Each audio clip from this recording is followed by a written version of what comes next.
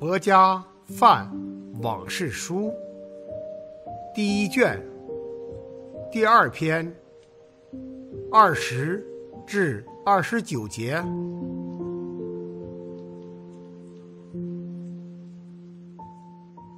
第二十节，这样处在纯粹善良属性层面上的人，因为。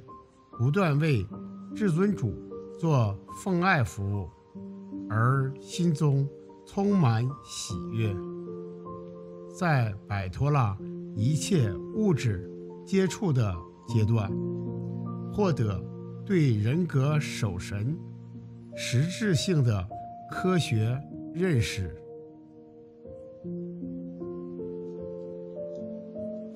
第二十一节。至此，心中的结被打开，所有的误解烟消云散。当人看到自我是主人时，功利性活动的铁链就此中断。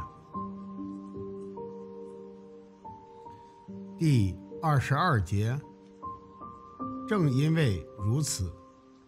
自无法追溯的年代至今，所有的超然主义者都必定会高兴万分地为人格守神主回什那做奉爱服务，因为这样的奉爱服务使。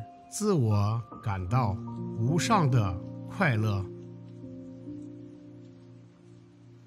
第二十三节，超然的人格守神，间接地与激情、善良和愚昧这三种物质自然属性接触。仅仅是为了物质世界的创造、维系和毁灭，他才以步入阿玛、维什努和西瓦这三个属性化身的形式降临，在这三者中。全体人类可以从善良属性化身维什努那里得到最高利益。第二十四节，木材是土的转化，但烟比木头强。更好的是火。因为我们可以靠火，通过伟达火计获取高级知识所带来的那么多利益。同样道理，激情属性比愚昧属性强，但善良属性最好，因为善良属性可以使人。领悟绝对真理。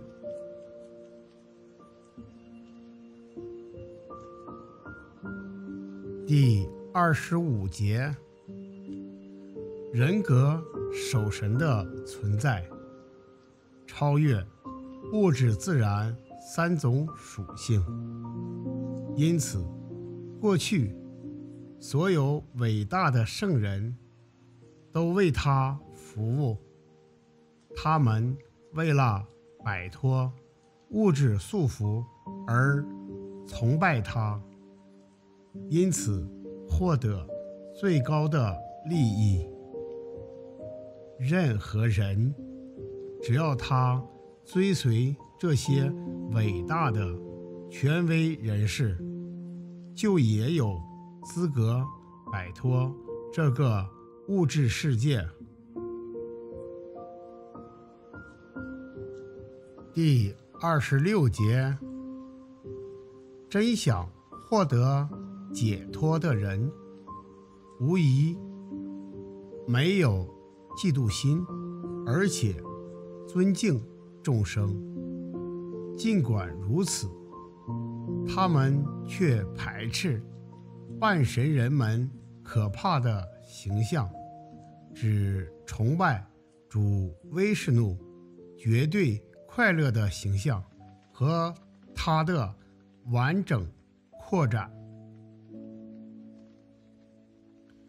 第二十七节，受激情属性和愚昧属性控制的人，被获得女人、财产、权利和后代等物质欲望所驱使。崇拜祖先、其他生物体和掌管宇宙事物的半神人。第二十八、二十九节，在启示经典中，知识的最终目标是人格守神圣奎什纳。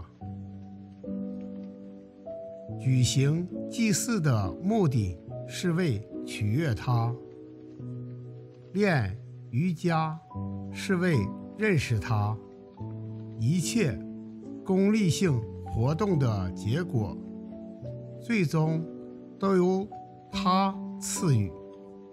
他是最高的知识，从事所有苦修都是。